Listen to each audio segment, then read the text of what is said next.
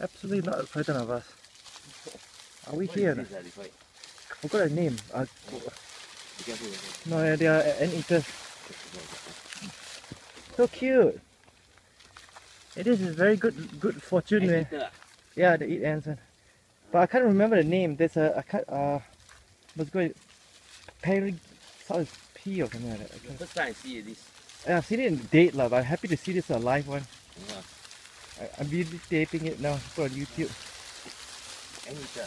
Some sort of eater, yeah. Yeah, anteater. Or termites. uh, Yeah, yeah. Some sort of. Uh. They might, uh,